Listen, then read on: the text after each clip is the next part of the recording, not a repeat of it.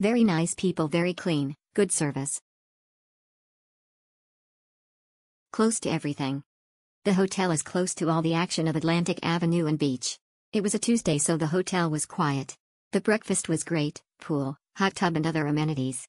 I would highly recommend staying here if you like being in the center of town. I was billed twice, Hyatt billed me in error, as was charged by third party at time of Bo King. Front desk and breakfast didn't give impression of happy people. We were on a budget so it took up a lot of our money that day being billed twice. Good week in Delray the hotel is nice and clean. Good hot free breakfast. The location is great. Liked it a lot. My room was immaculate with like new fixtures and furniture. The bed was very comfortable. The staff was pleasant and accommodating. It's on a quiet street, but only a two minute walk to all restaurants and entertainment. My only, minor, complaint is that the fitness center is too small.